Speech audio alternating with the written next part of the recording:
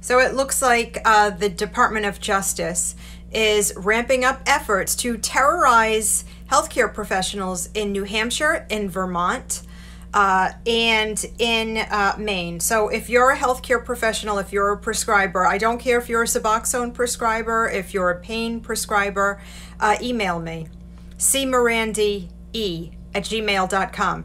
Don't let these uh, these are these are terrorists. That's all this this unit is. This is a terrorist unit. And Assistant Attorney General Kenneth Polite, you know, he's proud of this.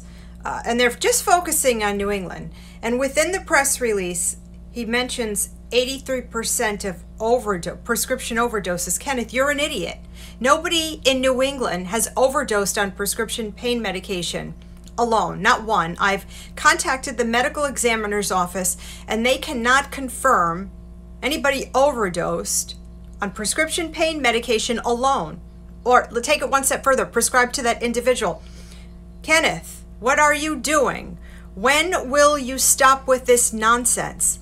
Uh, you must leave these physicians alone. This is a form of terror, and we, the people, are not having it. And i am going to take it one step further, Kenneth. If you terrorize a doctor in any of these states, you better have a prescriber for the patients because once you terrorize these doctors, patients are left with no prescriber. Kenneth, receive what I'm saying. You better have a prescriber for these patients. If not, we will sue you personally. Uh, don't forget, visit us at the Doctor Patient Forum.